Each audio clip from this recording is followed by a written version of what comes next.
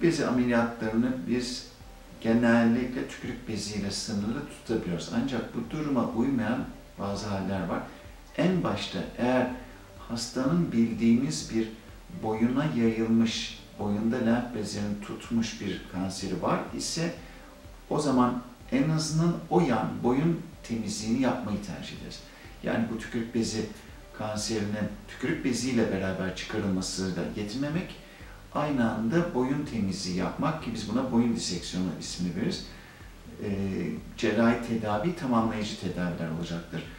Eğer kanser çok yaygın ise ve bu çevre komşu dokular içerisinde başka yerlerde tutmuşsa mesela kulak kemiğini tutabilir, e, çene kemiğini tutabilir. O zaman yayıldığı bölgeyi de dahil edecek şekilde bir cerrahi tedavi planı yapmamız gerekir.